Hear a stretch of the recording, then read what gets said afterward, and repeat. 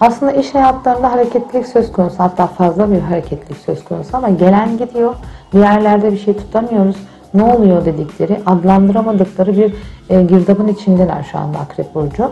Özellikle iş yaptığı kişilerle sanki uzlaşıyorlardı. Can ciğerlerde şu anda ters düşme dönemleri söz konusu oldu.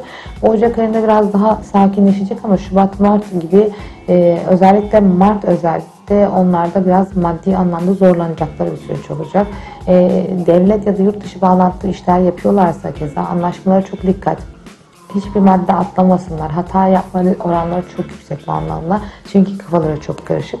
E, iş hayatının ülkemizdeki kaos bit onları çok fazla etkiliyor. Dinginleşmeye başladığı dönemde onların hem aşk hem iş hayatlarında her nokta artık sakinleşmeye başlayacak. E, kolaylıklar diliyoruz. En az zararla çıkmalarını Obrigada.